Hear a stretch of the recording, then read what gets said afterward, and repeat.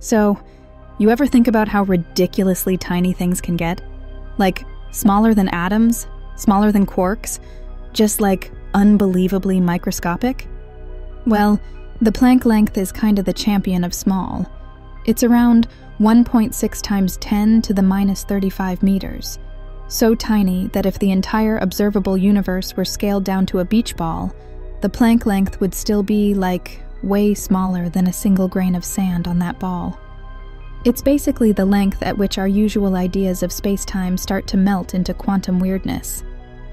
What's nuts is many physicists suspect that's where gravity and quantum mechanics finally meet, like the pixel resolution of the universe itself, if you want to think of reality as a simulation. Below that scale, the concept of distance might not even make sense anymore. We can't exactly measure it with today's tech, way out of our league. But understanding it could be the key to unlocking a full theory of quantum gravity, something that merges Einstein's general relativity with all the quantum stuff we see in particle physics. If wrapping your head around that makes you go, whoa, what does this mean for us in reality? You should totally swing by our new YouTube channel, Hyperfocus.